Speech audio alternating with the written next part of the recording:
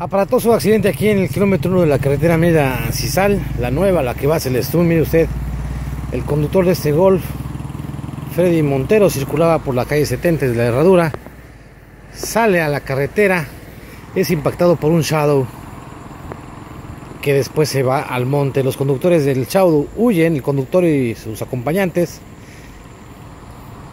dejan su carro y mire usted cómo queda este Golf, destrozado completamente el frente.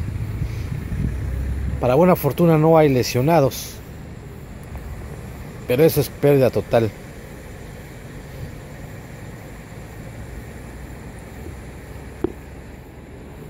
Mire usted, se activaron las bolsas de aire.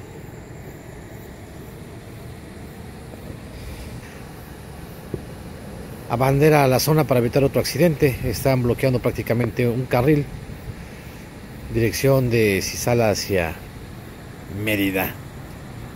Vamos a ver cómo quedó el Shadow para que usted se dé una idea del impacto. Hace todo este recorrido el,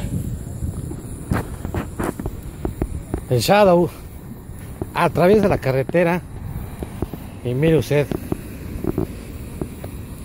da un giro y queda así en el monte Ahí está el golpe tremendo. Mire usted. El impacto es del lado derecho del auto. Y bueno, pues ahí podemos ver hasta la botana.